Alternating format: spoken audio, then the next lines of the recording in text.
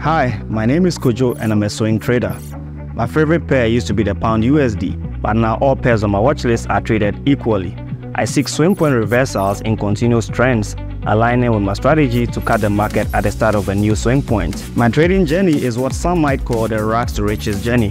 Coming from a financially challenging background, I enlisted in the military for some stability. I started trading during my service, but I lacked knowledge and, of course, the financial capital to make some meaningful gains. Through years of self study and experimentation, I gained my edge in 2019 and I've never looked back since then. My advice to new traders avoid impulsiveness and approach trading with discipline. Maintain financial sanity and stick to solid principles for long term success. Follow my journey here at Exness Team Pro as we make waves in the trading world to inspire you to reach new heights.